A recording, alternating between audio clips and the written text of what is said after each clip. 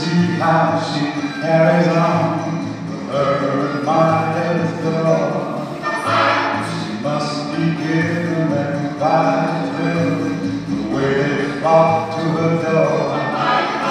She throws those common glances at every topic job when all.